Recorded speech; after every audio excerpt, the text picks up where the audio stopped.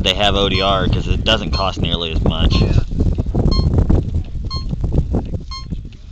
He might get an advantage because he's got a clean throw with some.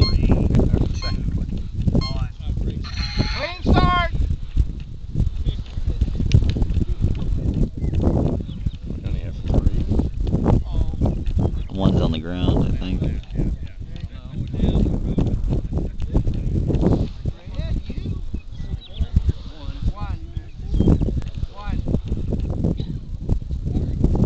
Who's the one the yellow one?